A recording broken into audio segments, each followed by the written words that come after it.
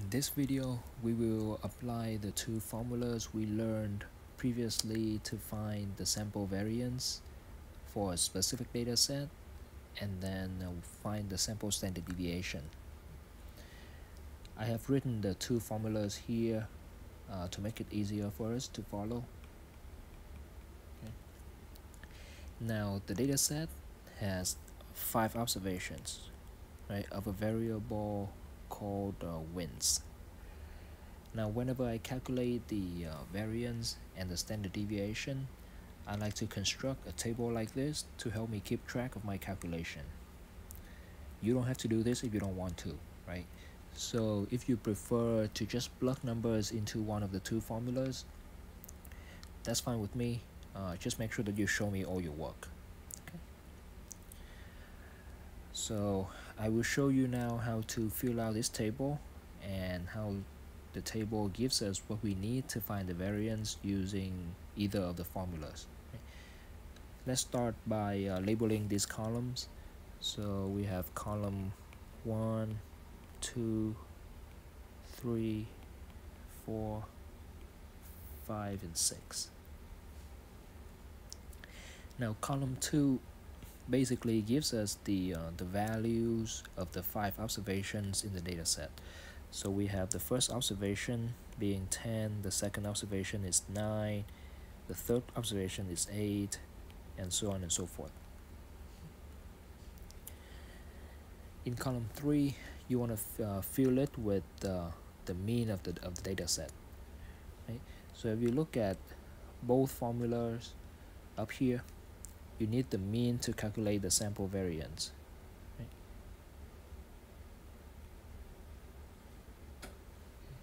So at this point, you should know how to calculate the mean. Right?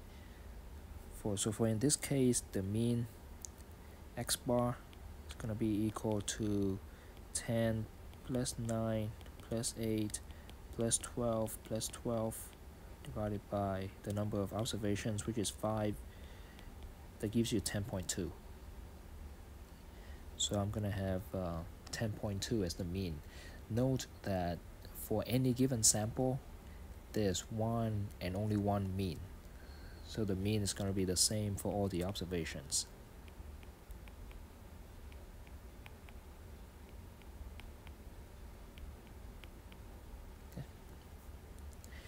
Now in column 4, we have uh, is the column for x, xi square. So in this column, we want to square the observations. So for the first observation, it's going to be x1 square, which is 10 square, which gives you 100.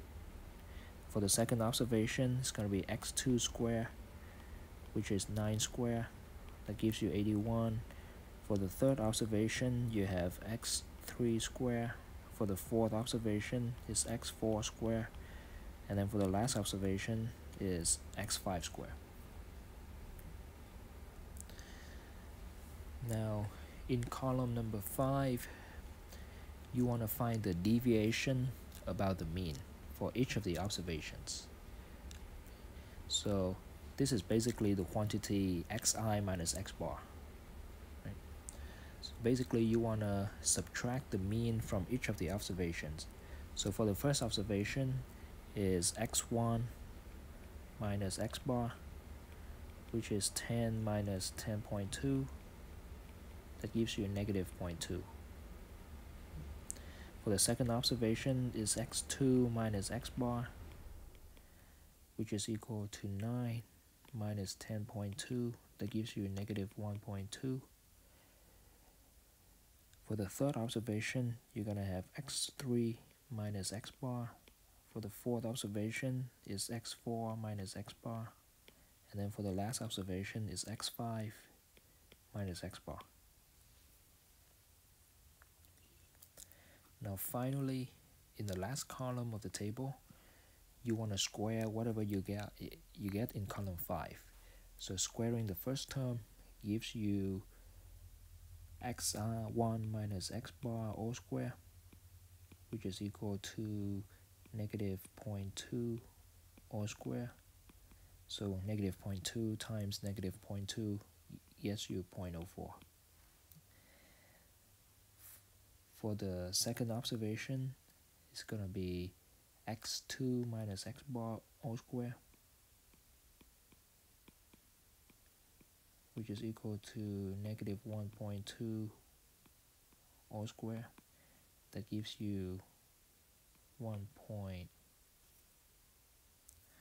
gives you 1.44 so for the third observation you're gonna have x3 minus x bar all square. For the fourth observation is x4 minus x bar all square.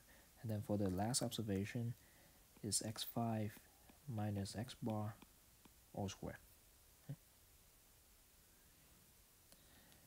Okay, so, so let's look at uh, the last column. Once you have filled out this whole table, look at the last column. The individual numbers in the last column are x1 minus x bar all square, x2 minus x bar all square, x3 minus x bar all square, x4 minus x bar all square, and then x5 minus x bar all square. So if you sum up all the numbers in the last column, you get the summation for xi minus x bar all square for i going from 1 to n. In this case, n is equal to 5. In other words, you're going to get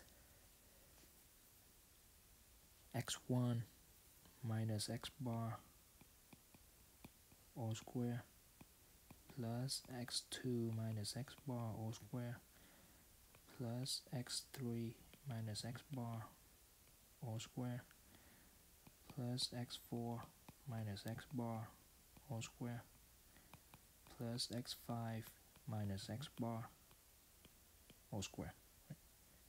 But what but what is this sum this sum is if you look at the first formula up here that sum is the numerator. Right? So this is going to be the numerator of formula 1 so if you add up all the numbers in column number 6 in your last column and then divide it by 5 minus 1, you get the variance.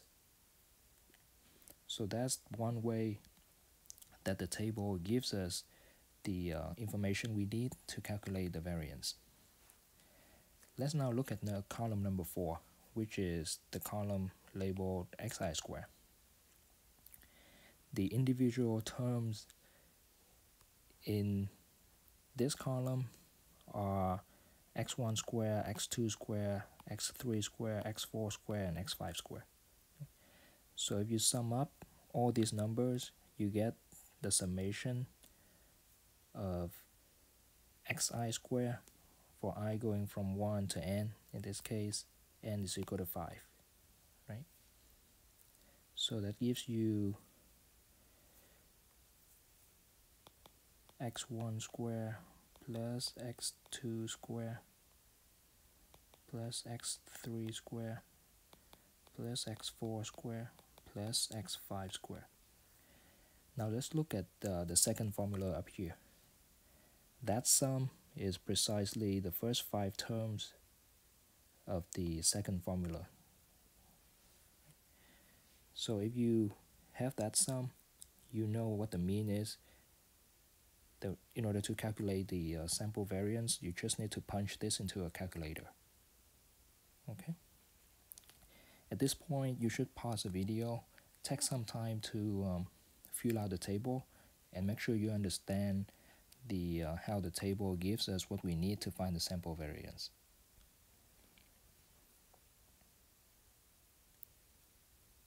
So after filling out the table, you should have uh, something that looks like this. So the summation of xi square for i going from 1 to n, in this case 5, is going to be equal to 533.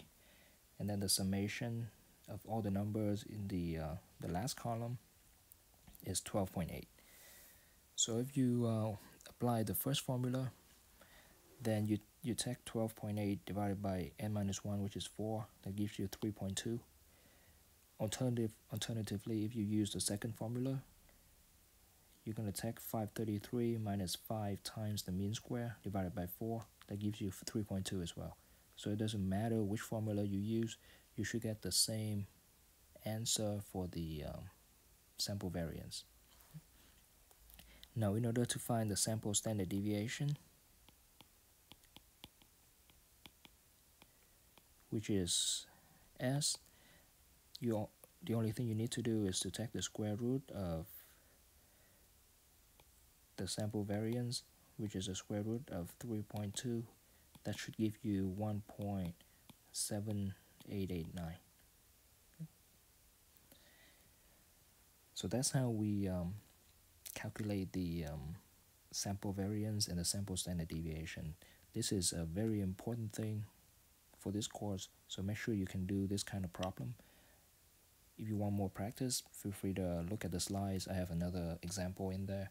And then look at the uh, the problem set